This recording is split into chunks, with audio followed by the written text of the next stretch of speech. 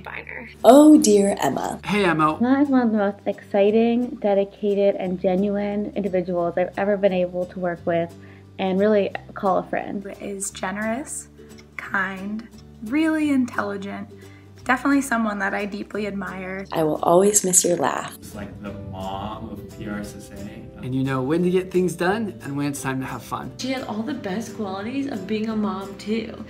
If I had one phrase to describe her, it would be nerdy badass soccer mom. Emma was the coolest badass rocker mom. I don't know, it just really makes us laugh. Be kind and gracious and professional and fun and a great leader overall. One thing that I love about you is that you have mastered the balance between working hard and playing hard. She's like the mom, she like takes care of takes care of us. She has all these really fun quirks. Lights up a room that she's in and she really finds a way to bring out the best in everyone and really finds a way to find everyone's passions. She just has this energy that you know something exciting is going to happen when she's around. Emma is one of the most kind and compassionate people I've ever met.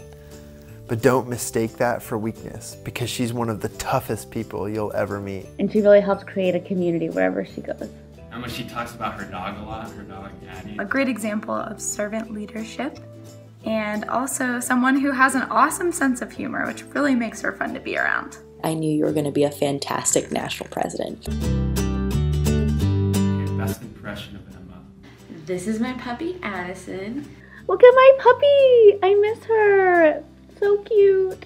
I think these glasses kind of look like yours, or maybe these glasses.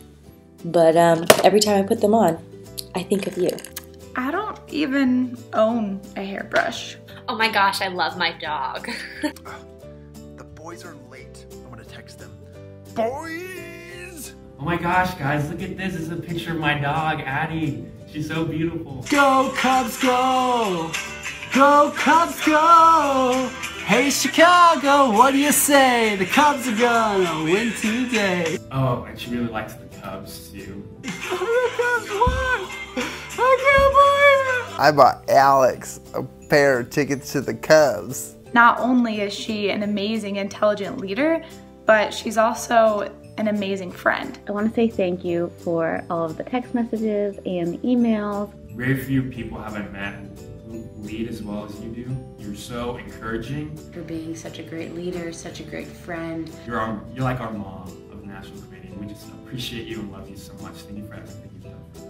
And just conversations and really all the time that you spend working with us. You have been our bold and fearless leader. But genuinely, I can't thank you enough for helping us be the best that we can be and being one of those pull up friends that really are there for each other. He would not be here without you today. And she really invests time and, and makes you feel valued. You have done nothing but serve selflessly. You are a role model to all of us on the committee and in the society.